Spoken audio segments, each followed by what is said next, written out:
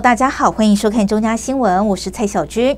防疫新生活仍然需要你我共同维护，在这里要提醒观众朋友不要松懈，出入时要记得佩戴口罩，并保持社交距离，勤洗手，共同防疫，人人有责。接下来带您进入今天的中嘉新闻。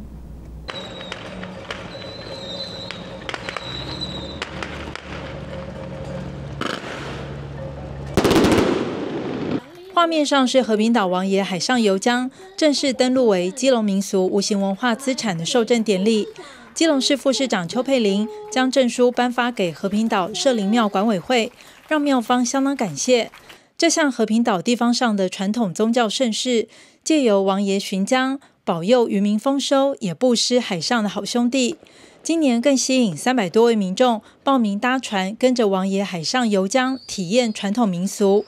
游江路线从镇滨渔港出发，前往深澳渔港的碧云宫、八斗子渔港福清宫，再进入基隆内港的城隍庙，让传统祭典仪式逐渐发展为地方上别具特色的文化庆典活动。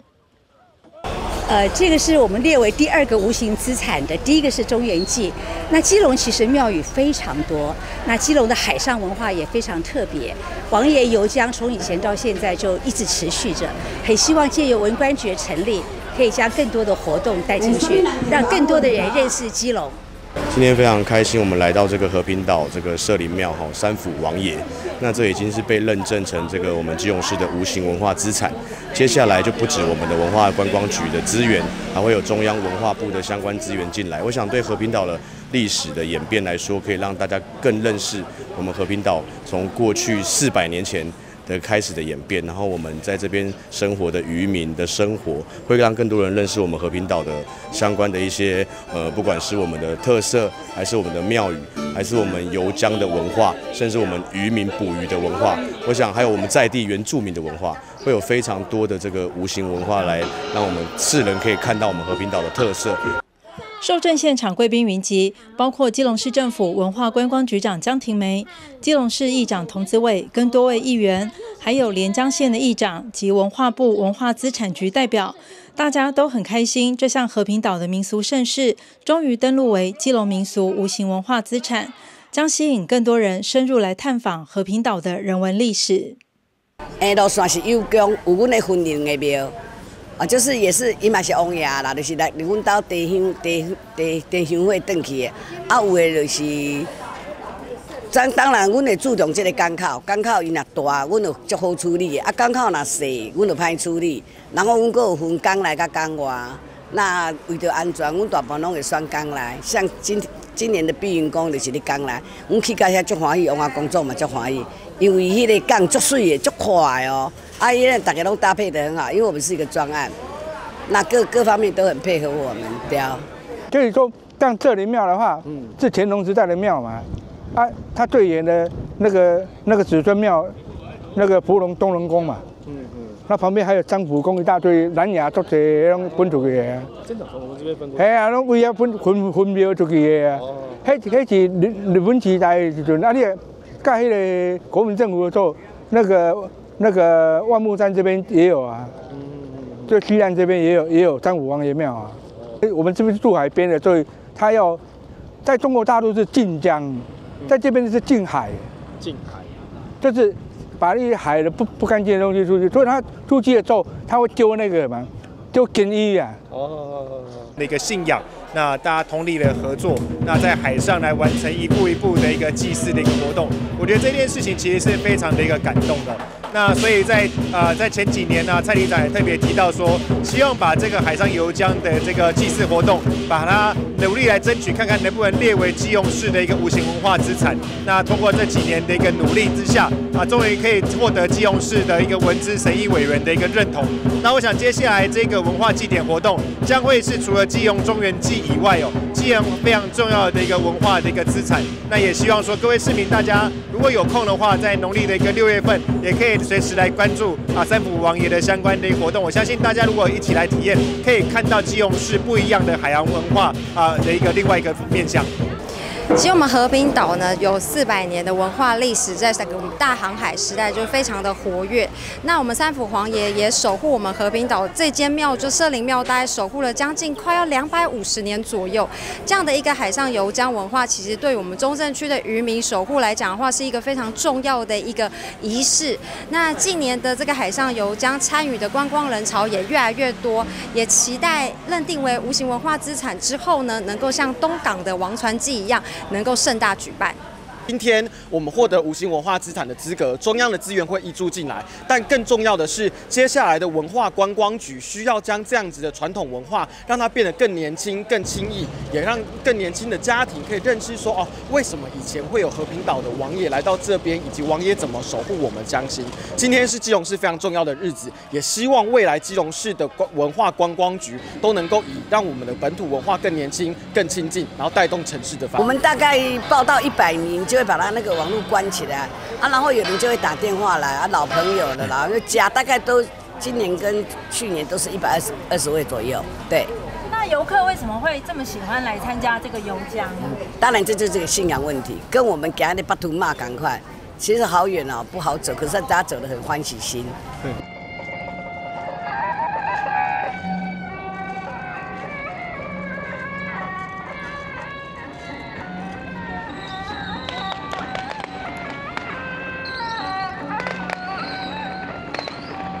和平岛社林庙表示，包括游江和绕境等一系列活动，都固定在农历六月十五三府王爷圣诞期间举行。未来除了致力保存这项传统文化，也将推动让更多年轻世代来参与互动，共同来体验这个在地文化庆典的魅力。记者黄振生、陈淑平，基隆报道。来到海门天险登山步道，每走一步都要很小心。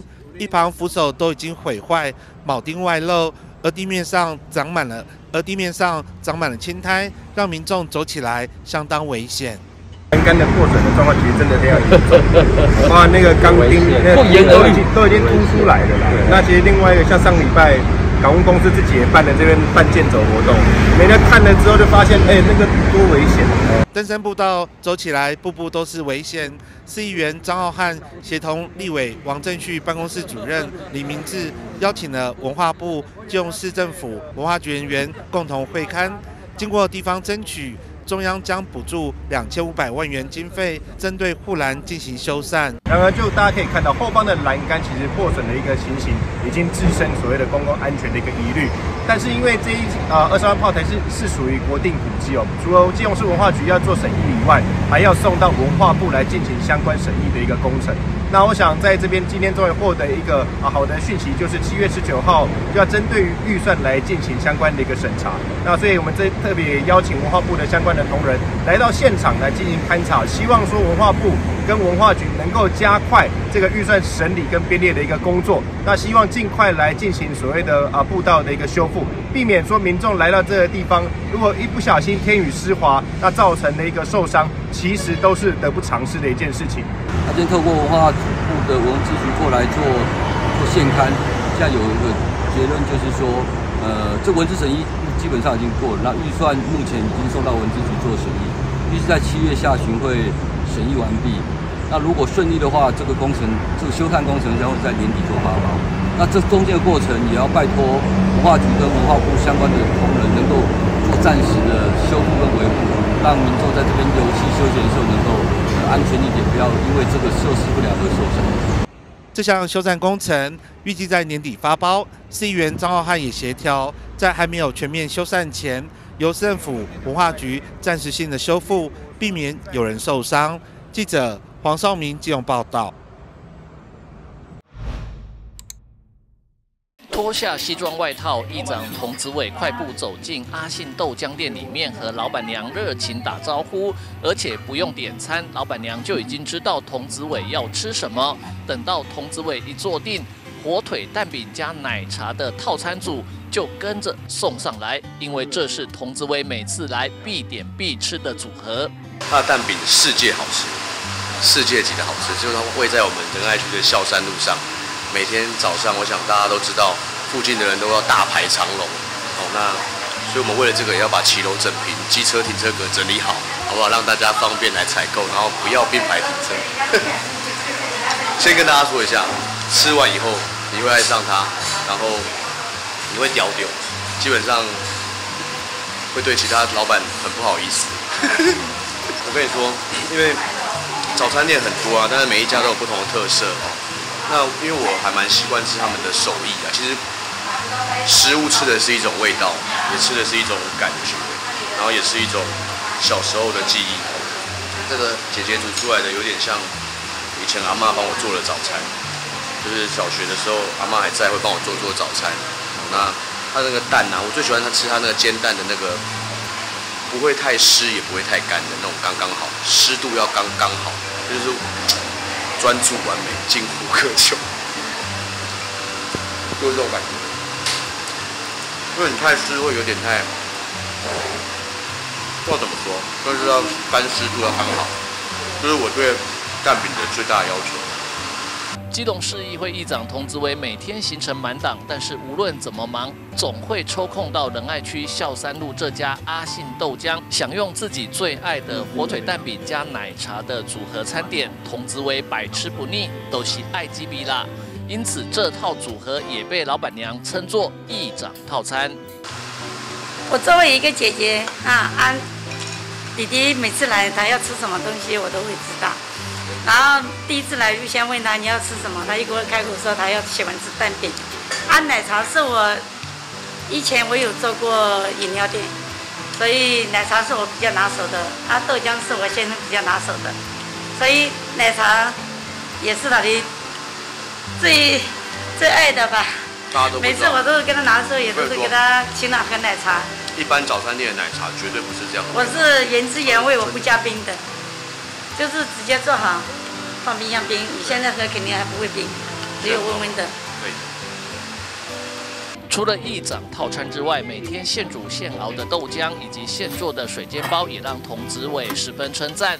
而烧饼夹蛋，火大要酥一点，更被童子伟称为世界一绝。我是自己，因为我都固定套餐哈，我都没有什么在换。那其实他们有很多，比如说 烧饼啊。油条啊，其实也都非常的到地，然后他们的豆浆也是早上在这边现做的，现磨现做，待会可以大家让大家来看看，所以他们其实是非常有特色的一个传统早餐店，我们蛮喜欢的，而且机器也在后面，对早上都一大早清晨，所以他们每次找我吃饭都要很早，因为早上他们太早起床，凌晨一点。他们有一个，我还其实蛮喜欢吃他们那个水煎包的，水煎包。哎，之前姐姐你还有弄过一个那个叫什么给我？烧饼炸蛋。烧饼蛋。哦，烧饼夹蛋，我跟你说，世界一绝。火大的。火大。火大。要输一点。要要输一对，火大要输一点，烧饼夹蛋。你们要来吃一点，我要吃世界一绝，真的。输一点的。就在我们仁爱区。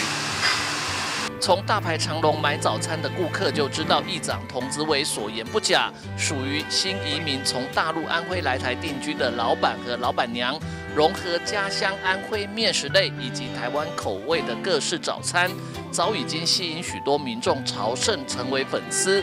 童子伟力推阿信豆浆，大家走过路过千万不要错过。记者吴俊松机动报道。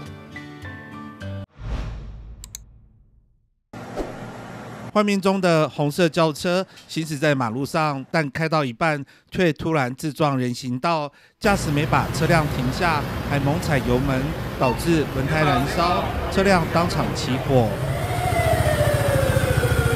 消防人员获报，立即赶到现场扑灭火势，好在没有人受伤，驾驶酒测值为零。但警方进一步搜索车内，疑似发现有违禁品。事发在基隆十四号凌晨两点多。根据警方调查，这名男子疑似吸食俗称丧尸烟弹的伊托米子后开车，先是偏离车道，接着又自撞石墩。撞车之后，依旧猛踩油门不放，精神明显有异状。十四日凌晨三时，本所接获一零通报，成功一路安乐路口有车辆因自撞而酿火灾。经消防队人员到场扑灭后，于驾驶座发现驾驶携带电子烟及俗称丧尸烟弹，初步检验呈卡西酮阳性反应，警询笔录后，依毒品危害防治条例不能安全驾驶，移送基隆地检。日前，三重才发生毒驾冲撞警车，造成二十八岁原警殉职悲剧。在基隆，又有驾驶吸食，又有驾驶吸毒完开车冲撞，只是依托咪子现在属于麻醉药品，只是依托咪子现在还属于麻醉药品。日前已经提案列为第三级毒品，希望法规能够赶快上路。记者黄少明记者报道。在阳光照射下，更凸显出这两台彩绘基隆海洋景致和景点的中型观光巴士美丽和新颖的造型。这两台鲜少露脸使用的中型观巴，目前停放在公车处七堵分站里面。负责管理的公车处指出，五年多前，基隆市政府争取中央补助打造车体的费用，再由原市政府官销处出钱负责彩绘这两辆车。虽然隶属市政府公车处管理，但是因为当年的官销处规划用这两台中型观巴来载运国际邮轮旅客进行机动观光导览，因此这几年来被列管用来作为一般公车使用。所以当初补助了那个费用，让我们那个有两台，让我们购添购了这两台车子，准备是要载游轮客，然后呢来观赏基隆的美美丽啊。所以呢，我们那个时候确实有准备了啊这两台车子。那呢，但是很可惜的，后面的当然就是如大家所知道有 COVID-19 啊啊，所以呢后来这个就计划就稍微先停搁了一下。所以目前现在的话啊，车子就放在这里。除了外形漂亮显眼，内部精致的座椅和冷气设备也让人眼睛为之一亮。虽然当年被列管规划作为载运国际游轮旅客观光用途，却敌不过大型游览车一车车把游轮旅客载往台北等县市观光的现实。再加上三年多前新冠疫情爆发，国际游轮停驶，这两台中型观巴更无用武之地，只能停放在公车处七堵分站。中间偶尔有使用一下。基隆市议员张耿辉无意间发现这两台中型观光巴士停放在这里非常可惜，希望市政府可以规划出适合的山海观光路线，让这两台中型观巴载运旅客行销基隆的观光。放在这边的话，我想很可惜。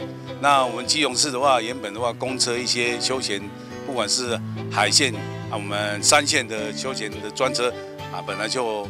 就已经很缺乏，也没有什么专车在行走。那放在这边，与其这样的话，倒不如啊，我也向市政府来建议，这个的积极的话，让我们啊，看要是我们休闲农业啊，专车也好，还是跑我们海线也好，那关销处已经合并为啊文化观观光局。那未来的话，都是拨交给我们观光局的话，我也是希望能够尽速的来啊使用这两部，因为。毕竟摆在这边啊，非常浪费，真的非常浪费。因为我们外面的话也很多的话，需要我们这些啊公车专车来啊接送。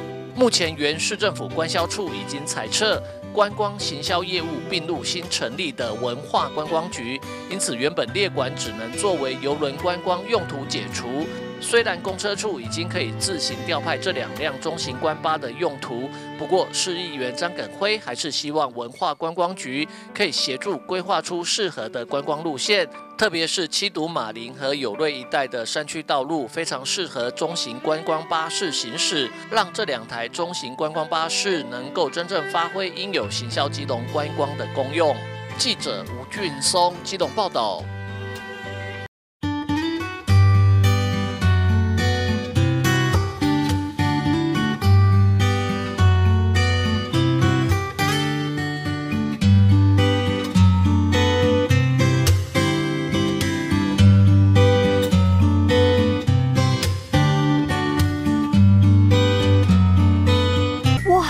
这款酒好美又特价，刚好可以买来下周末的舞会上喝。等等，在网络、邮购、自动贩卖机、无人商店等地方买卖烟酒，没办法知道买东西人的年龄，所以是禁止的哟。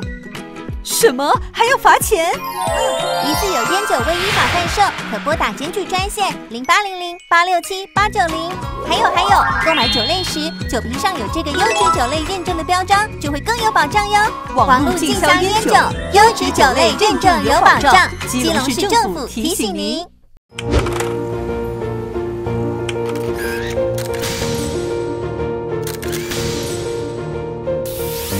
刨除旧砖路整平，基隆骑楼更好走。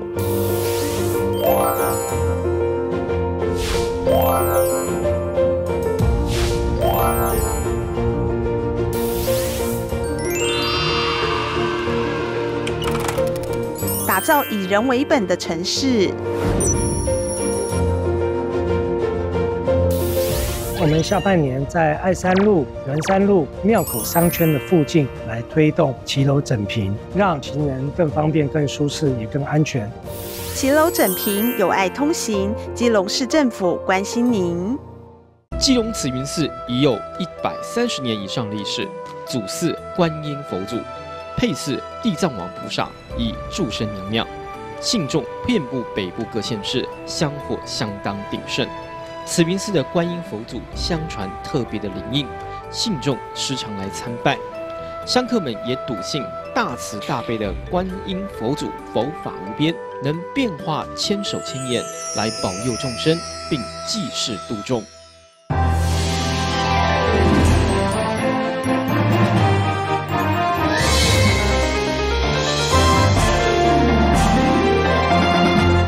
放在床上正在充电的行动电源不断的冒烟，棉被被烧出一个大洞，整颗行动电源已经烧得变黑。在一旁睡觉的孩子嚎啕大哭。我是充行动电源而已，然后那时候我小孩就睡在旁边，然后我就陪他睡觉。就突然间三十分钟嘛，我记得看一下时间，他就有火花起来了。然后我是被他那个火花吓到跟味道，然后我就先用手把它拍灭，但是他有点难拍灭，所以我就先把我儿子抱出去了。然后他一下子烟其实就蛮大了。回想事发当下，妈妈的还是心有余悸，只说真的是福大命大。如果当时洗澡，后果真的不堪设想。有一天逛夜市的时候买的，所以我后来有去查，但是我查不出来是什么牌子，但我觉得应该是大陆的牌子。对，好险那时候我没有去洗澡，哎，就是没有，因为我通常我都会把它放在房间，我就在外面做自己的事情了。对，好险我在旁边睡觉。出面还原事发经过，汪小姐说惊险过程，但好端端的行动电源怎么会突然起火？首先，BSMI 它会去检查你的这个行动电源的呃容量是不是有任何的误误导或是呃标示呃不足啊，因为很常会遇到一个状况，就是它号称它一万毫安培，那实际上它里面用的可能连一半都不到，那 BSMI 在这个地方就会先帮你做基本的把关。呃，那再就是符合台湾的呃使用环境，包括电压，呃，然后包括你里面用的材料，它也会实际去做一些测试，去跑一些压力的呃这个测试，让你呃比较可以呃放心的去使用这个东西，因为是有透过台湾国家的这个机构去做一个本地的呃相容性的测试啊，所以这个还是请大家务必要选。够这个台湾 BSMI 认证的，很容易发现那个异常的高温。不管是呃你放在包包里啊，或者拿在手上，只要那个温度超出一般人体可接受的话是四十五度，超过这个温度的话，你一摸起来你就会觉得很烫的时候，那个时候绝对马上停止使用。专家提醒民众在挑选行动电源时，一定要挑选有合格认证的，也要正确使用，避免发生憾事。记者。黄少明这样报道。暖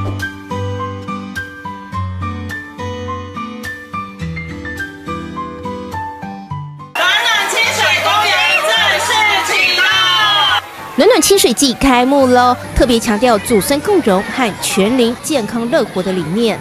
活动现场设有各式年龄层参与的游戏和教育项目。基隆市卫生局特别设计了富有教育意义的闯关游戏，向参与者宣导失智症的十大警讯。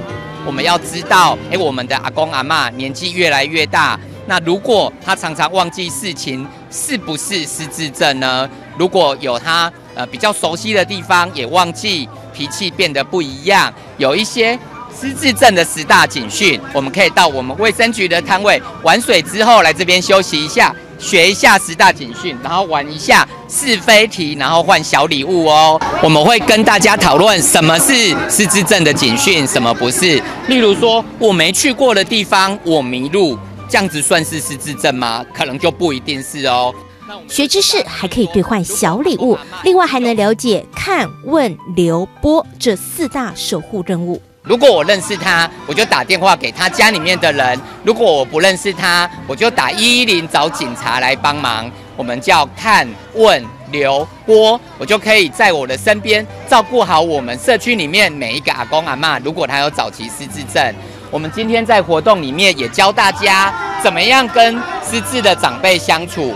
要要或不要跟他吵架，要或不要跟他辩论，或者是说要怎么样布置我们的环境，要怎么样问他要吃什么东西，要考他吗？还是要怎么顺着他，然后让他选比较简单的题目？这个就是我们今天的一起跟大家照顾失智长辈的方法哦。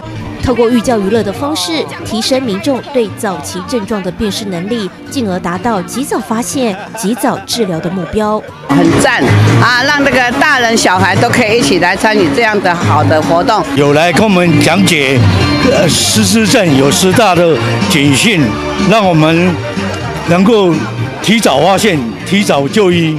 台湾已经迈入了高龄化的社会，借这个机会，大家一起来重视失智。的相关症状，一起维护长辈的一个啊健康。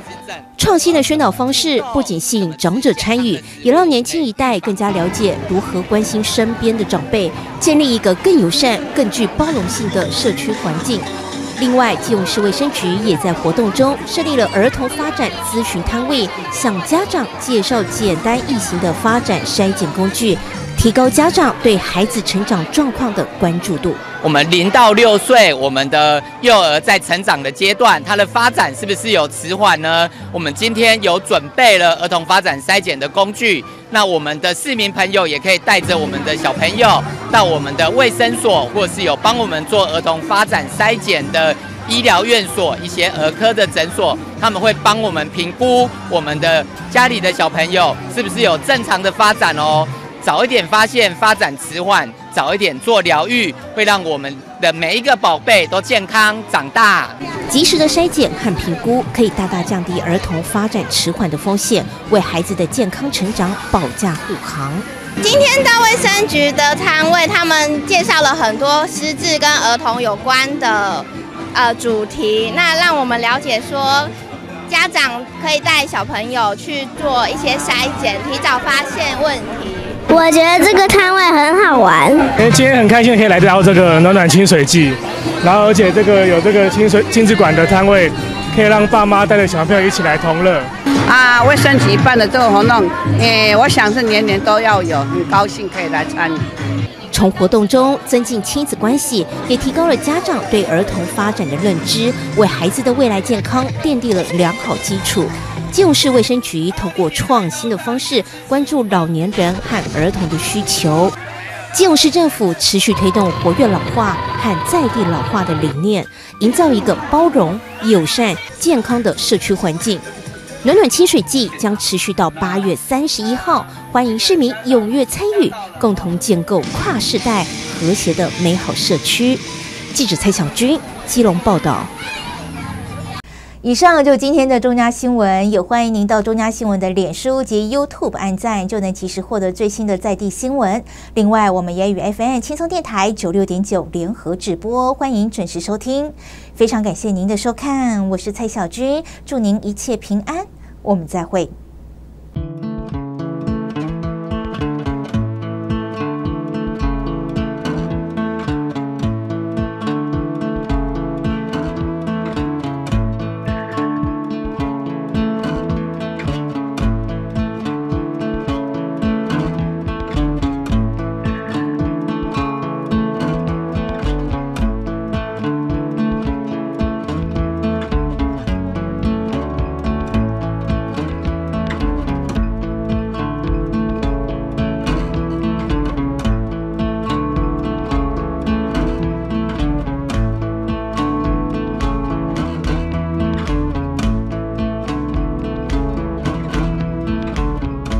知道基隆市政府各单位正在推动哪些重要政策、大型活动或是社会福利措施吗？关心市政自回来节目特别邀请了产官学界来讨论各项政策最新发展，也欢迎民众表达意见，让市民可以快速掌握基隆脉动。欢迎锁定每周三晚上九点基隆第四频道，关心市政奏回来。